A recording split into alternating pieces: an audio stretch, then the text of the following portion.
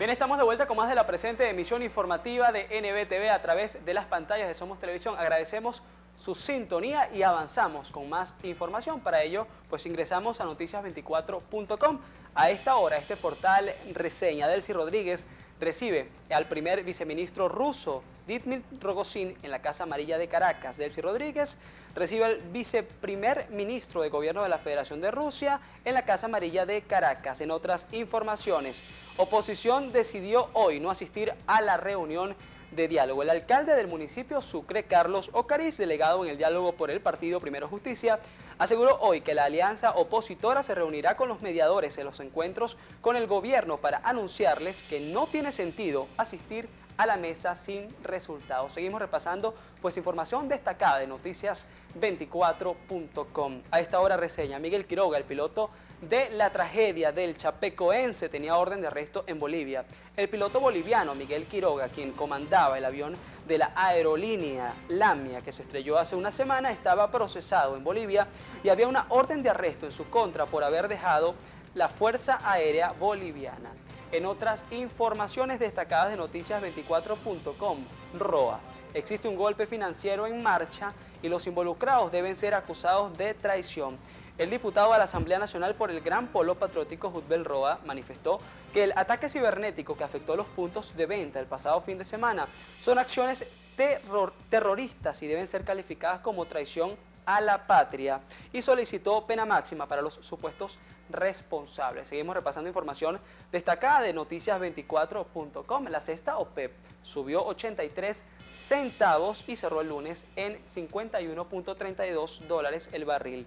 El precio de la cesta de referencia de la Organización de Países Exportadores de Petróleo OPEP subió 83 centavos y cerró el lunes en 51.32 dólares por barril. En otras informaciones, conoce cómo se celebra en el continente africano la Navidad y sus tradiciones. Un reportaje especial de Noticias 24.com. Seguimos repasando información del Pino.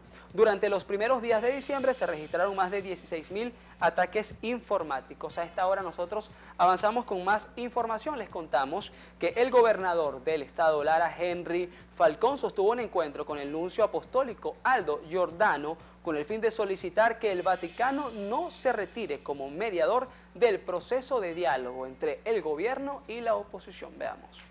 Falcón señaló que es importante el acompañamiento de la Iglesia Católica en busca de un diálogo fructífero. Por lo tanto, criticó el tono irrespetuoso con cual se dirige el mandatario nacional. Tragedia.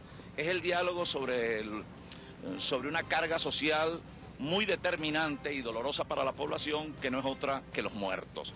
Nosotros decíamos, siempre será más determinante el acompañamiento de la Iglesia Católica para un diálogo fructífero, activo, positivo, tolerante, concreto y respetuoso que un tutelaje militar en condiciones muy contrarias a las que vivimos hoy en Venezuela, o sea, en condiciones mucho más agudas, que nos convoquen a sentarnos en torno a una mesa, pero prácticamente con una presión social de calle que obligue entonces a los actores de la política a tomar las decisiones que se correspondan con las grandes expectativas de la población.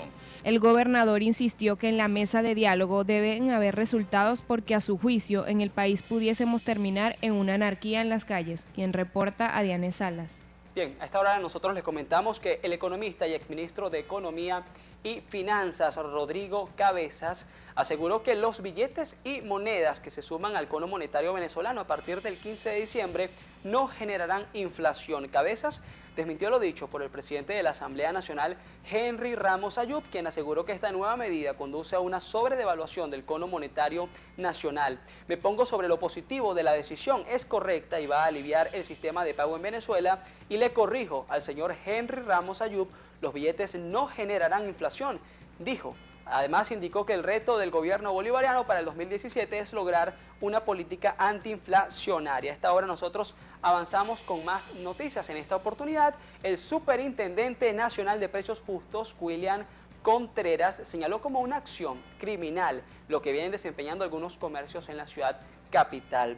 Contreras informó que los comercios realizaban un remarcaje en los precios de los productos en cuestión de horas, Durante la inspección pudimos observar el aumento descarado de los precios que iba de 300% hasta 1000% en los comercios.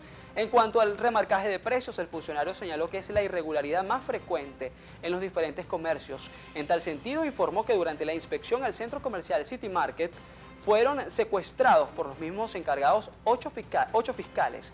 Por último, el funcionario criticó como dólar criminal la acción que vienen emprendiendo contra la moneda venezolana varios sectores del poder económico. A esta hora nosotros pues les presentamos más información. Ingresamos a ultimasnoticias.com.be. Veamos qué reseña esta hora Últimas Noticias en materia política. Defensor reitera que dos reuniones son insuficientes para dar ultimátum. En otras informaciones, organizaciones sociales y sindicales de Chile y Bolivia apoyan a Venezuela en el Mercosur. Diputado Roa, a la mesa de la Unidad Democrática no le conviene levantarse de la mesa de diálogo. Seguimos repasando información destacada de ultimasnoticias.com.